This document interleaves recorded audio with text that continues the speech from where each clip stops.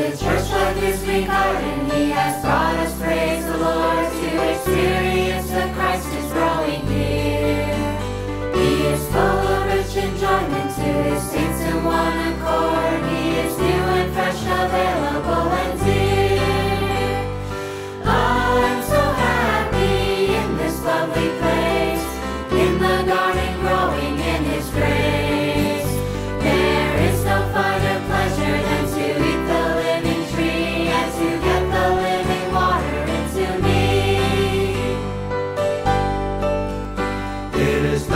School or factory or a chapel in the air, but a garden where our Lord can plant and sow.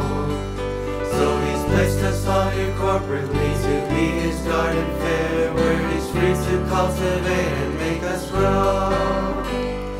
I'm so happy in this lovely place, in the garden growing in His grace. There is no finer pleasure than to eat the living